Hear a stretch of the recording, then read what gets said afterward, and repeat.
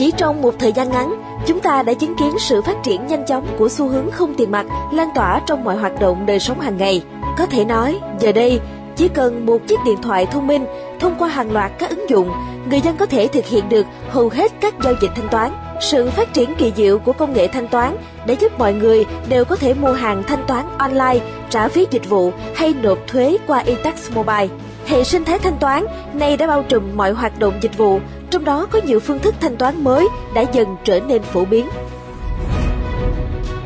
Đây là những hình ảnh tại phiên chợ không tiền mặt lần đầu tiên được tổ chức dành riêng cho công nhân trên địa bàn thành phố Thủ Đức, thành phố Hồ Chí Minh. Những người lao động từ trước đến nay chỉ có thói quen dùng tiền mặt để mua sắm, nay đã dần tiếp cận hơn với công nghệ, những tiện ích mà chuyển đổi số mang lại.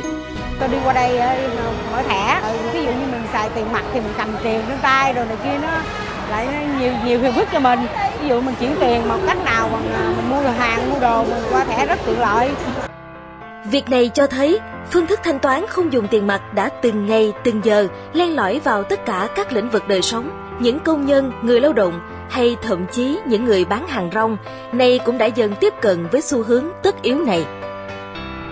Dần dần, các giao dịch thanh toán không tiếp xúc trở nên phổ biến và thành thói quen trong xã hội. Điều này đòi hỏi quá trình chuyển đổi số trong lĩnh vực tài chính, ngân hàng diễn ra ngày càng nhanh hơn. Đặc biệt, dưới tác động của Covid-19, Quá trình này trở thành chìa khóa để các nhà băng vượt qua thách thức. Các ngân hàng liên tục ra mắt nhiều dự án chuyển đổi số, ứng dụng mobile banking, sử dụng hệ thống ngân hàng tự động. À, chúng tôi đặc biệt tới việc à, ứng dụng những cái phương thức thanh toán hiện đại trên thế giới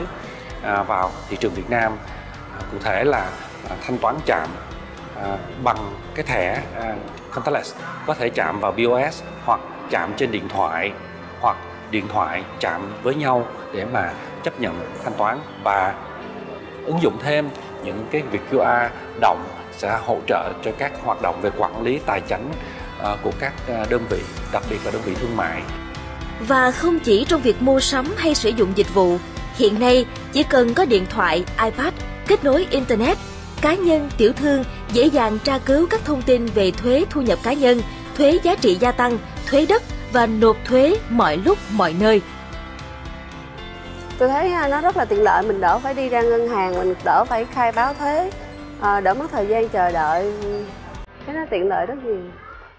Đây là nỗ lực lớn của ngành thuế trong nhiều năm qua, hướng đến cải cách thủ tục hành chính, hiện đại hóa, cung cấp các dịch vụ điện tử cho người nộp thuế thông qua ứng dụng eTax Mobile.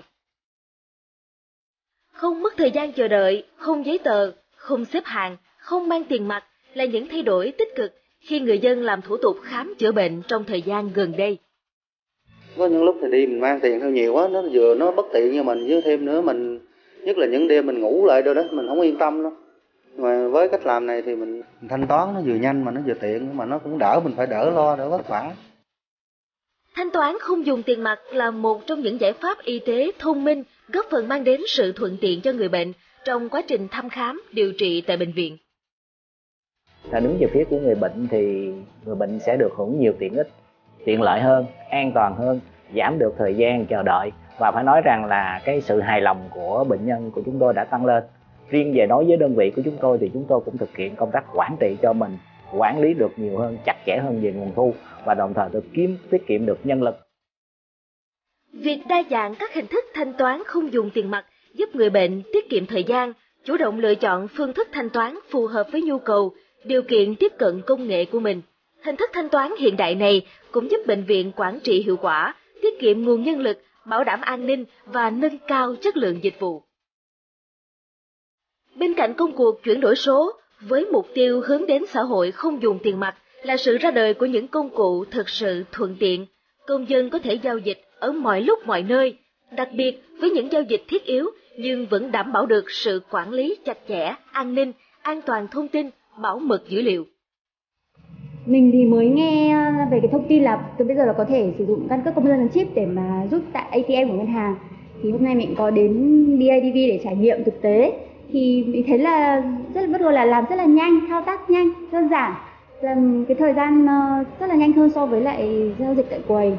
Về phía ngân hàng thì việc ứng dụng căn cước công dân chip trong các giao dịch đã hỗ trợ chúng tôi rất nhiều trong quá trình xác thực khách hàng, giảm thời gian tác nghiệp và loại bỏ các rủi ro giả mạo. Nghiên cứu về thái độ thanh toán của người tiêu dùng đầu tháng 6 năm 2022 cho thấy người tiêu dùng Việt Nam đã nhanh chóng đón nhận hàng loạt các phương thức thanh toán kỹ thuật số và có sự thay đổi rõ rệt trong thói quen thanh toán. Cụ thể, 65% người tiêu dùng Việt mang ít tiền mặt hơn trong ví, 32% cho biết họ sẽ ngưng sử dụng tiền mặt sau đại dịch, gần 76% người tiêu dùng hiện tại sử dụng ví điện tử và có đến hơn 80% người tiêu dùng hiện nay đang sử dụng thẻ, thanh toán qua mã QR và ví điện tử ít nhất một lần một tuần.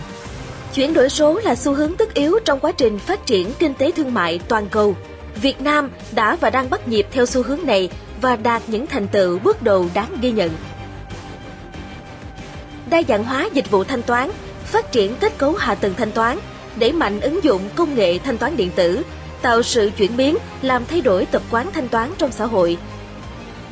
Nâng cao hiệu quả hoạt động của hệ thống ngân hàng, trọng tâm là chuyển đổi dịch vụ công, là những mục tiêu của công cuộc chuyển đổi số để hướng đến xã hội không dùng tiền mặt.